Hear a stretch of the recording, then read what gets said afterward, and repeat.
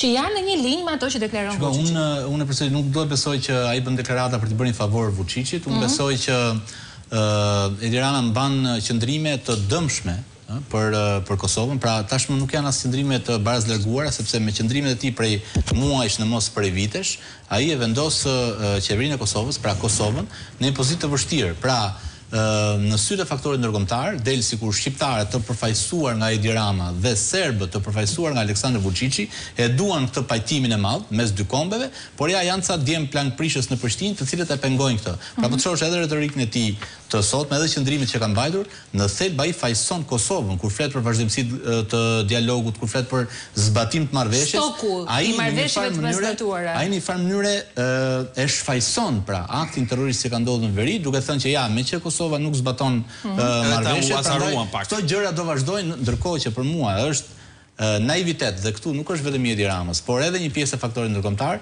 që të besojnë që edhe me krijimin e të ashtuquajtur Zajednicë, edhe me krijimin e Asociacionit të Komunave Serbe, tensioni do ndalet, Ë dhe këto dy dy pra shqiptarët e Kosovës dhe serbët do jetojnë në paqe. E kundërta është e vërtetë. Pra është vërtetuar nga sjellja e qeverisë serbe dhe e serbëve gjatë dy dekadave të fundit që e kundërta është e vërtetë. Pra nëse ti bën koncesione, atëherë tensioni rritet. Ne mbas tensioneve, problemeve në Malin të Zi kemi pasur ë nga mbrapa serbët. Mbas problemeve pak vite më parë në Maqedoni kanë qenë mbrapa serbët. Mbas problemeve të vazhdueshme në Bosnjë Hercegovinë, Ëh? Janë serbët. Dhe sot në problem me shqiptarët janë serbët. Pse? Sepse serbët e kanë në kushtetutë që ë dhe Vuçiçi e përsëriti dje disa herë në mënyrë të përsëritur që ne kurrë nuk do ta njohim pavarësinë e Kosovës. Tani mua më vjen keq nëse Serbia nuk e njeh pavarësinë e Kosovës, sigurisht që situata do të vazhdojë të jetë e njëjtë dhe nuk mund të ketë kurrë një qetësim ë nëse i jepet asociacioni, sepse në të vërtetë ata nuk kërkojnë asociacionin. Dhe Bosnja na e tregon ne këtë. Ata në Bosnje kanë më shumë se asociacion. Kanë Republikën Sërpska e cila